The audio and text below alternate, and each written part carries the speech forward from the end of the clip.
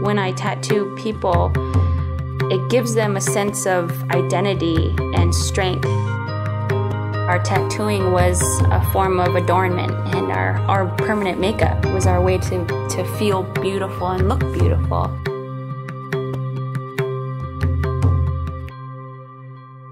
My name is Marjorie Tahbone, and I am helping revitalize the ancient art of traditional Inuit tattooing. All of my tattoos have meaning that's deep to me and to my family, and that's how all tattoos that I give are.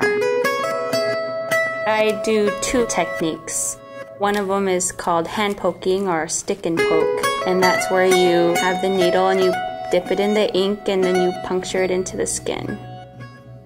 I use our other ancient technique of skin stitching uh, with needle and thread, and that's where you have a needle that's threaded, and I use cotton string, and you dip the string in the ink, and then you pass the needle through the skin in and out. It's a little bit more painful than the poking, huh? Even though we've had tattooing since time immemorial, thousands and thousands of years, revitalizing it and bringing it back is still new. Traditional Inuit tattooing, the meanings vary from place to place. Inuit women have always received traditional chin tattoos, usually always meant when uh, a woman became of age. The most important thing is that it's important to the person who's receiving them.